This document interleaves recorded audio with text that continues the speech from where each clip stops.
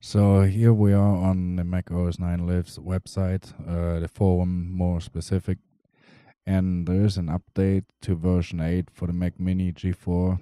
It's uh, quite some time, April 11 is posted there for quite a while, and uh, if you have a earlier version, you can update to it. There are people who participated in that project and some uh, information about the installation process. There is nothing you need to modify on the machine. You just uh, burn the CD and install it. In the latest update, there are uh, some uh, graphic uh, drive driver updated and uh, some other minor fixes but uh, the image contains information file about that. So anyway I, I post a link to the image here. And uh, let's proceed and uh, turn the machine on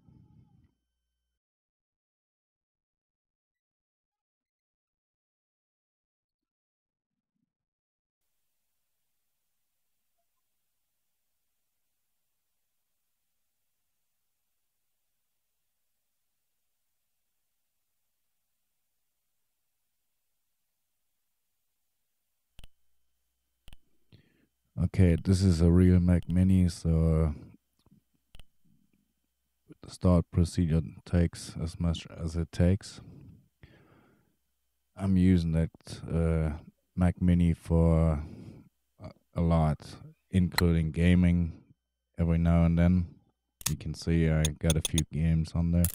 So here I'm showing you uh, the machine is equipped with one gig of RAM 32 megabytes virtual memory, uh, video RAM, and uh, its mass or uh, it shows is a, a cube.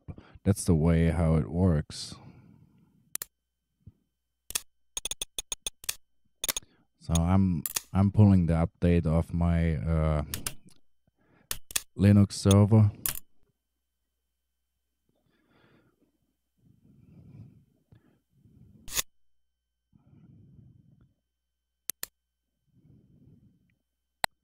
I got a transfer folder there in case I need to push stuff back and forth. I got the full image and the update image. So if you if you have not even installed Mac OS 9, you can go ahead and use the full image.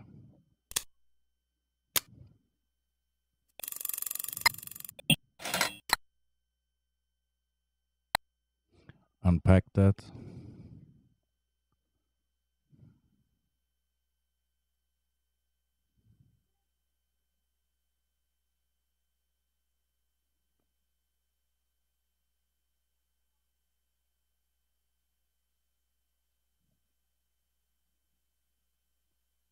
And then mount it on a desktop.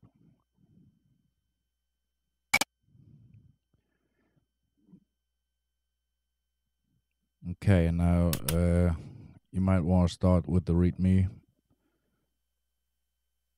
It contains some information.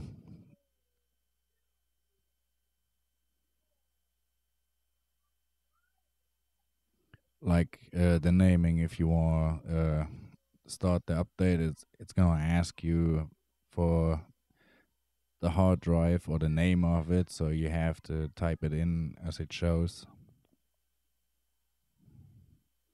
And uh, in case you use target disk mode.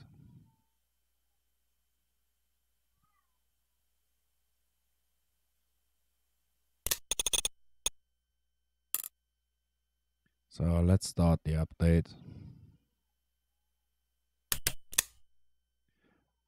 This is the field where you have to type in the drive name as as you can see it on your desktop in case you have several different partitions with uh, different installations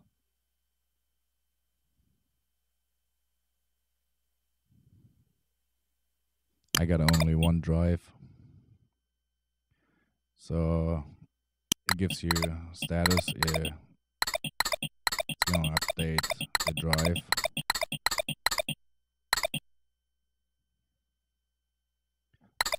This goes uh, automatically. You don't have to do anything, just ends with restart, which you should do. So let's reboot the machine.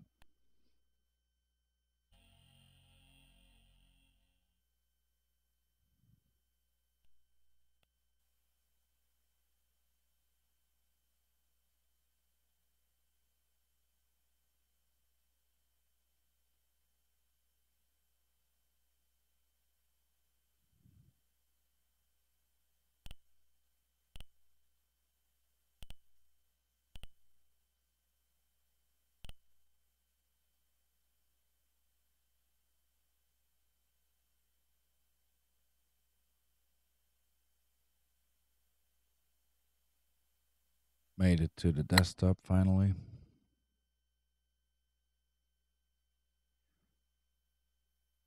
Okay, uh, the README said uh, empty the trash. This is where your old drivers are. You don't need them anymore. Uh, you can back them up if you want to, but they were replaced. And uh, a few other items too, like this copy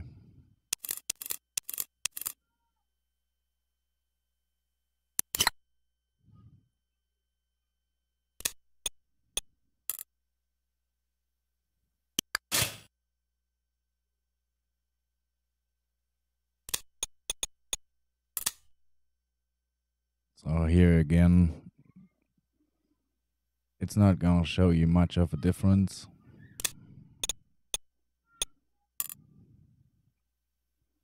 But in uh, a personal conversation with the guy who actually made the image, the update image, uh, there is one way how you can tell if you have it already or not. And this is by... Uh, opening drive setup.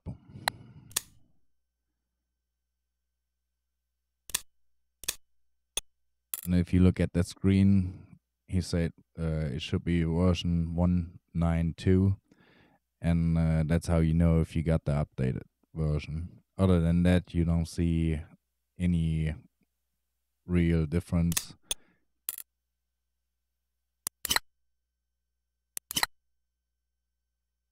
Most of it is just cosmetic and under the hood. So this is it. Let's turn it off and uh, that's done for, for that update. See you in the next video.